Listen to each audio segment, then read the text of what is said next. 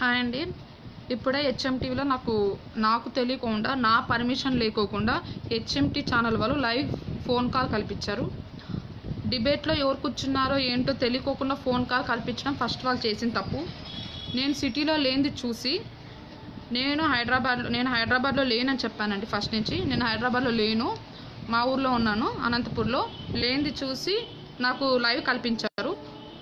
Phone call కల్పించారు HMTV వాళ్ళు. Debate జరిగింది ఇప్పుడు సెవెన్ థర్టీకో seven seven o'clock start అయిందో తెలీదు. సెవెన్ థర్టీకి నాకు హెచ్ఎంటీ హెచ్ఎంటీవీ ఛానల్ నుంచి కాల్ వచ్చింది. నేను ఏది మాట్లాడినా కరెక్ట్గానే మాట్లాడతా. నాకు అంత అవసరం లేదు తప్పు చెప్పడం అబద్ధాలు చెప్పి ఒకరి మీద చాడలు చెప్పడం నాకు అసలు ఇష్టం లేదు.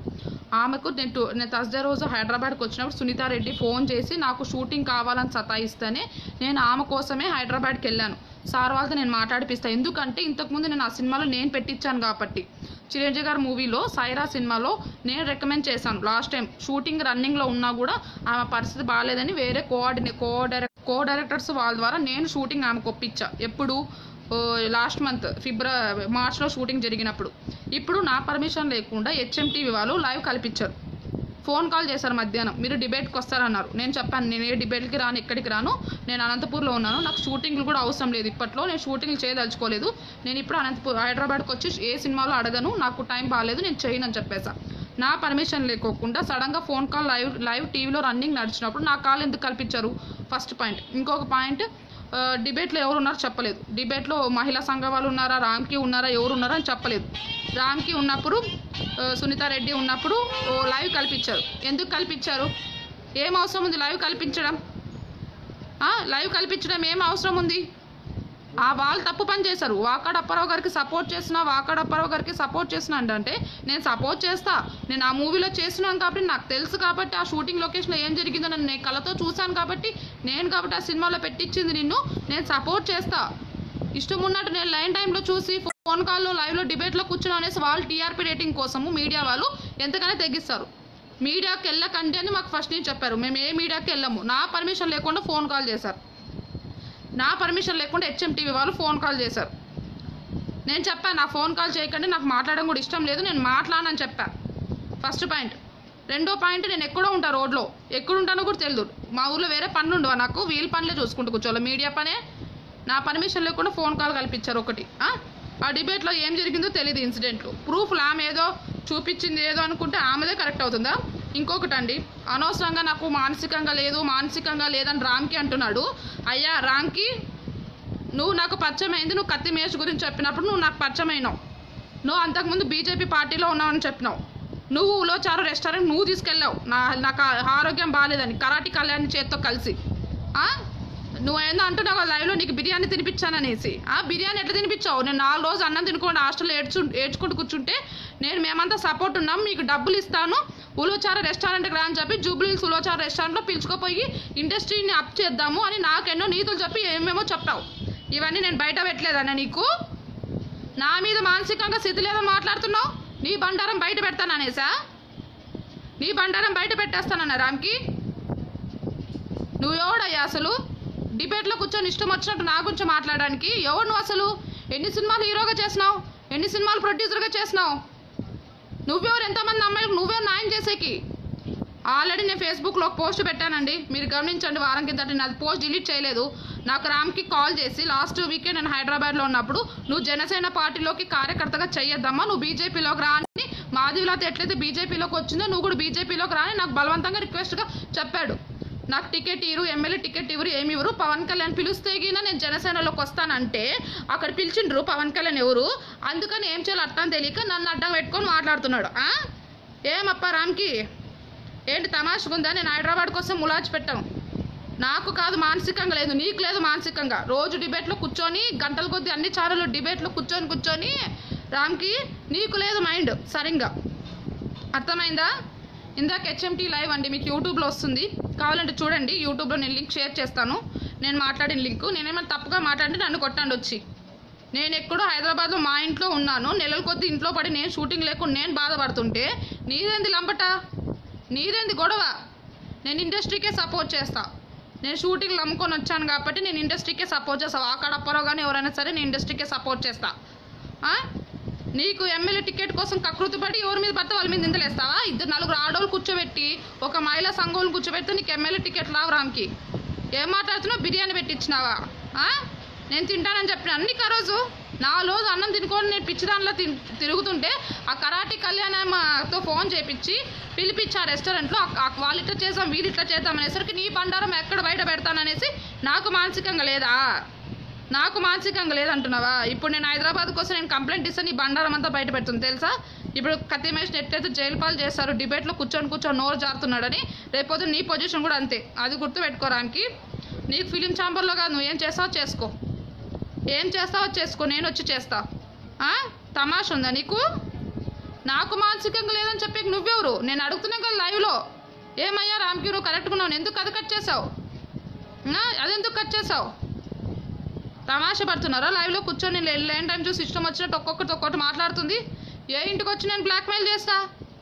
ప్రూఫ్లతో సహా నాకు ఉన్నాయి. నేను ఇంటికి వచ్చి బ్లాక్మెయిల్ చేశానంటే నేను పిచ్చి అయిపోయినా మధ్యలో హైదరాబాద్కి. నువ్వు చెప్పిన వెంటనే పరిగెత్తుకుంటూ వచ్చి నేను పిచ్చిదాని అయిపోయినా. నేను డబ్బులు నాశనం చేసుకున్నా. నేను లైన్ టైం చూసి నేను ఇంకా ఫస్ట్ టైం లాస్ట్ టైం చెప్తున్నానండి. ఇన్ని రోజులు నేను సీరియడ్ కొట్టి అగ్రెస్ట్గా మాట్లాడినా. నేను లేని టైం చూసి ఇష్టం వచ్చినట్టు ఎవడ పడితే వాడు ఫోన్ కాల్ సడన్గా చేపించి లైవ్లో కూర్చున్నాము మాట్లాడంటే మాత్రం ఊరుకునేది లేదు. ఊరుకునేదే లేదు. ఏ నంబర్ పడితే ఆ నంబర్కి లైన్లు కలుపుతారా మీరు లైవ్లో?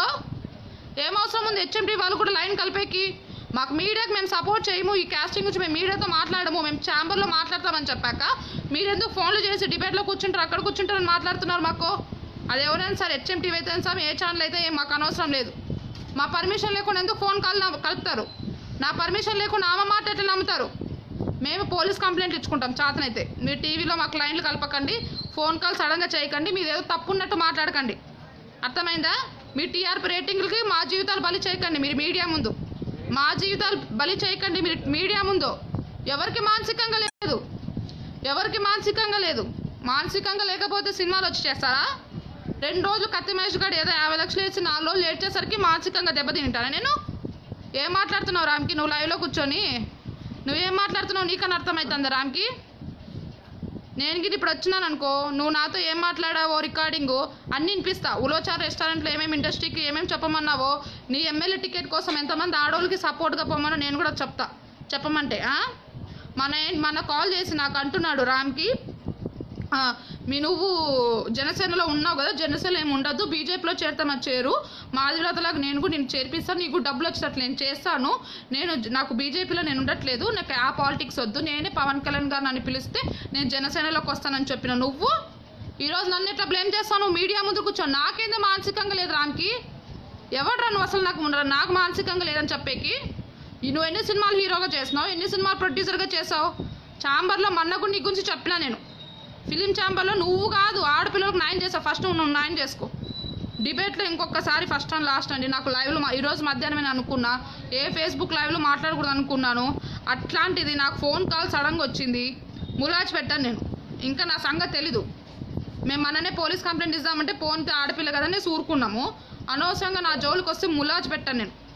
అనవసరంగా రామ్కి నీకు నువ్వేం చేస్తావు చేసుకో. నా గురించి నా ప్రస్తావం ఇంకొకసారి ఎత్తినావు అనుకో. నువ్వు వీరనారాయణ చౌదరితో ఫోన్ కాల్ చేయించావు. ఇవి నేను బాబు గోగి నేను మీద కేసు పెట్టినందుకు దానికి అగనెస్ట్గా మాట్లా అగనెస్ట్ బాబు గోగి బాబు గోగినేని గారికి సపోర్ట్ చేస్తున్నా అనేసి ఇష్టం వచ్చినట్టు చేస్తున్నారు. మర్యాద ఉండదు. మర్యాద అయితే నేను ఉండవు ఎందుకంటే మీ శాసలు తెలుసు. మీ అట్లాంటి వాళ్ళతో నేను ఎందుకు ఫ్రెండ్షిప్ చేస్తా? మీలాగా మేము టీవీలో కూర్చొని కూర్చొని మాట్లాడమంటారా? మాకు నేర్పిస్తున్నారా? టీవీలో కూర్చొని నేర్పించమని? సడన్గా ఎక్కడో రోడ్లో ఉన్నాను ఫోన్ కాల్ వచ్చింది. ఆ, ఫోన్ కాల్ నేను ఉన్నది ఉన్నట్టు మాట్లాడితే మంటలేసిందా ఒక్కొక్కరికి? ఇదే ఫస్ట్ అండ్ లాస్ట్ ర్యాంక్కి ఇంకొక డెబిట్లో కానీ నాకు నా ప్రస్తావం ఎత్తి తెగిన నేను ఏ స్టూడియోలో కూర్చుంటే ఆ స్టూడియోకి లైవ్లో వచ్చి కొట్టి మాట్లాడతా. కొట్టే మాట్లాడతా ర్యాంకీకి. నాకు మానసికంగా నాకు కాదు నీకు లేదు మానసికంగా. అందుకే డిబేట్లు పిచ్చిబట్టి టీవీనే స్టూడియోలు పిచ్చి పెట్టి పబ్లిసిటీ బట్టి పిచ్చిబట్టి ప్రతిరోజు డిబేట్లో కూర్చొని ఏదో చర్చలు చేస్తున్నావు. అక్కడ ముగ్గురు ఆడవాళ్ళు కూర్చున్నారు. ఎవరైనా ఒక ఒక జెంట్స్ అయినా వచ్చినారా నాయన చెప్పేకి వాళ్ళకు? నీకేం పట్టింది? అంతమంది నాయలు చేసేవాడు.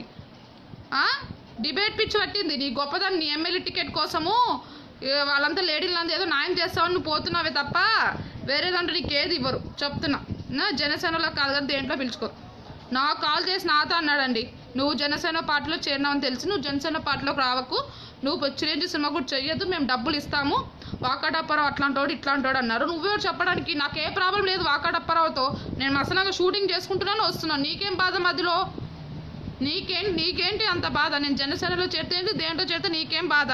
ఇప్పుడు టీవీలో కూర్చొని నాకు గురించి మానసికంగా లేదని చెప్తున్నావు. నీకుందా మానసికంగా? నీ బిర్యానీ నేను తింటానని చెప్పినాను ఆ రోజు రెస్టారెంట్లో? నా మాన నేను నా రోజు ఉపాసం ఉంటే నేను నా బాధ నేను పడుతుంటే ఫోన్ చేసి కరాటి కళ్యాణితో ఇంకా ఐదు మంది అమ్మాయిలంతా చుట్టేపించుకొని ఏదో గొప్ప పని చేసేవాళ్ళగా చేసినావు. ఆ రోజు నీ కథ నువ్వు చూసుకో. అర్థమైందా? సీసీ ఫుటేజ్ ఉంటుంది. ఏ టైంలో ఎప్పుడెప్పుడు పోయి ఏమేమి తిన్నామో.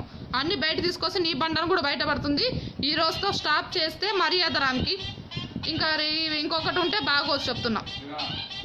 మర్యాద అయితే ఉండదు రామ్కి. మర్యాదకైతే అయితే ఉండదు